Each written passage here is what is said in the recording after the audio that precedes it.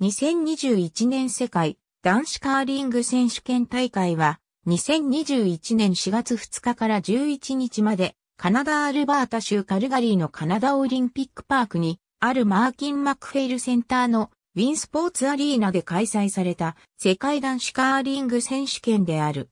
ニクラス・エディンがスキップを務めるスウェーデンが3大会連続5回目、スウェーデンとしては10回目の優勝を果たした。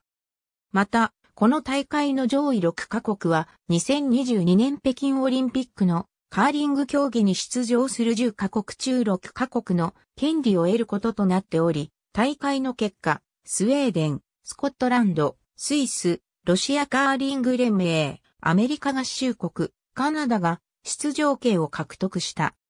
この大会は当初、カナダオンタリオ州のオタワの会場で開催される予定であったが、新型コロナウイルス感染症の世界的流行に伴う参加者の安全確保のため、カルガリーのバブル環境において無観客で実施するよう変更となった。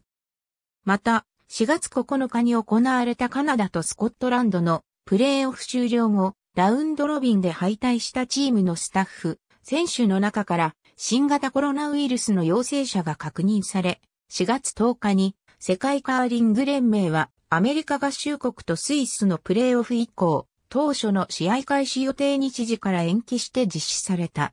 ただし、後の検査において、前期の陽性者はすべて偽陽性であり、感染者はいなかったことが確認された。次の14の国、または地域、組織が出場した。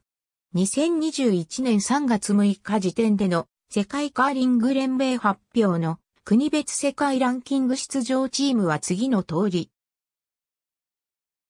太字スキップ2019から20年シーズンの世界カッリング連盟のオーダーオップメリットランキング4月2日9時4月2日14時4月2日19時4月3日9時4月3日14時4月3日19時4月4日9時4月4日14時4月4日19時4月5日9時4月5日14時4月5日19時4月6日9時4月6日14時4月6日19時4月7日9時4月7日14時4月7日19時4月8日9時4月8日14時4月8日19時4月9日9時4月9日14時4月9日19時4月11日11時4月11日16時4月11日16時4月11日21時4月11日21時ラウンドロビンのみ10ショット以上対象。ありがとうございます。